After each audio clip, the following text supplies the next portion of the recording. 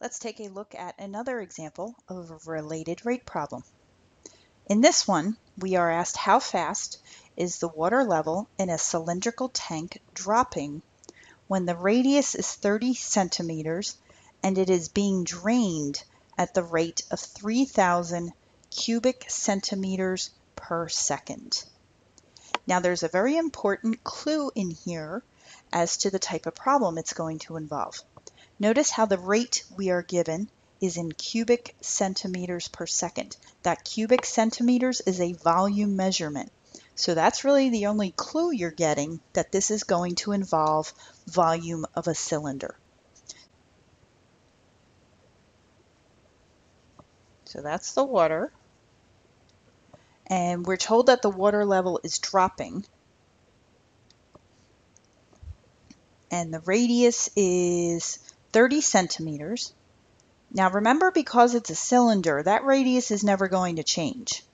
So that's something we can make use of later because it is going to be constant for this particular scenario. So we can refer to the height perhaps as y. So we'll let y represent however high the water is at any point in time. So now that we've had our picture drawn, let's lay out the rates that were given. So remember that one rate that we're given, the 30,000 cubic centimeters per second, we talked about that being a volume measurement. So let's call that dVdt. And because that's the rate at which the water is being drained out, we're going to consider that as a negative quantity. Now what we're trying to find is how fast is the water level dropping. So that would be dy dt at the point in time when r equals 30. Now you might be saying to yourself, well, r is always going to be 30. You are correct. And so that's something we're going to take into account when we go ahead and set up our, our equation that we're going to use. Now it would be helpful to remember how to get volume of a cylinder. Remember volume of a cylinder is pi r squared h but remember, you've already noted that the radius is going to be constant here. So we could go ahead and substitute that 30 into your r. So when we do that, you have 30 squared, which of course is 900. So the equation we're going to use, and remember we refer to the height as y in this particular case. So our equation that we're going to differentiate is simply v equals 900 pi times y. So with our implicit differentiation, derivative of v is dv dt.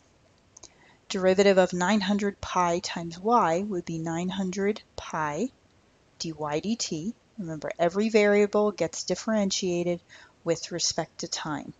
So dv dt, remember, was that which we were given, the negative 3,000. So solving for dy dt, we have negative 3,000 over 900 pi. We can go ahead and simplify that and we'd have negative 10 over 3 pi. You can do that as a decimal if you prefer. It's approximately equal to 1.061. So that rate is, of course, a negative quantity. So we can conclude that when the radius is 30 centimeters, the water level is dropping at a rate of approximately 1.061 centimeters per second.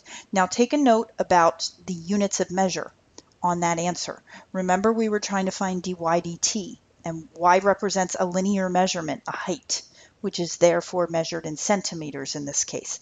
That's why it's centimeters per second.